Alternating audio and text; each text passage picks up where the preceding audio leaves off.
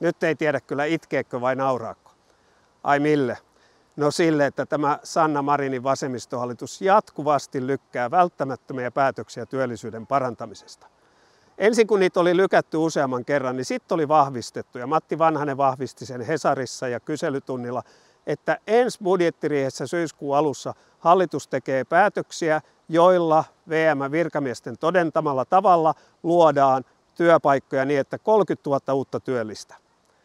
Ja tämän Katri Kulmuni vahvisti, että kyllä budjettiriihessä nämä on tehtävä. No eikö Sanna Marin säätytalon portailla ilmoittanut, että ei hei, kuulkaa rakkaat kepulaiset, että nämä on päätetty lykätä loppuvuoteen.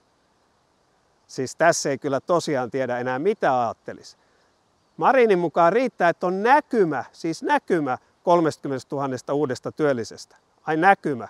Kahku ei sitten tämmöinen esimerkiksi niin kuin sanotaan vaikka kangastus tai toiveajatus tai kuulopuhe tai tiekartta.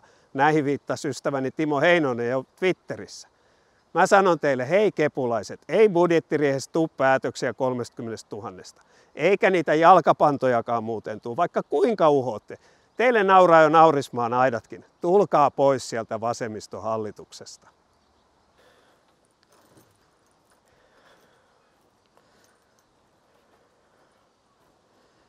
Ja sitten toinen vakava asia. Koronaepidemia merkitsi Suomelle ja suomalaisille tuskallisia inhimillisiä kärsimyksiä, valtavia taloudellisia menetyksiä. Nyt meidän on tehtävä kaikkemme, ettei tämä niin sanottu toinen aalto iske Suomeen. Meillä on varoittavia esimerkkejä Australia, Israel, Kroatia, missä ensin on tauti melkein nitistetty ja sitten se on tullut voimalla takaisin.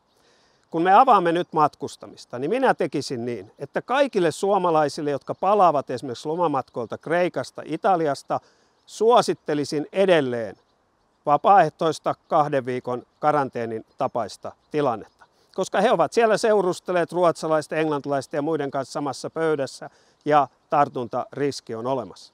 Vielä enemmän olen huolissani pohjoisilta rajoilta, ennen kaikkea Tornio Haaparanta. Tuhansia suomalaisia menee vuorokaudessa yli ja tulevat takaisin.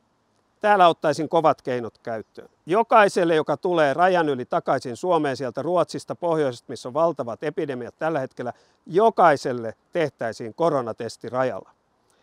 Toinen juttu. Jokaiselle, joka on turhaan käynyt esimerkiksi olutta tai nuuskaa ostamassa, jokaiselle pakollinen kahden viikon karanteeni, aito karanteeni.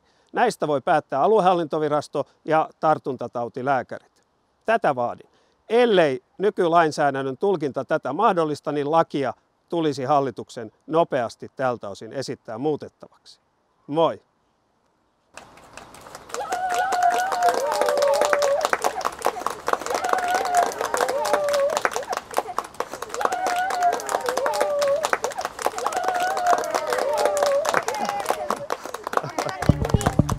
Huhhuh.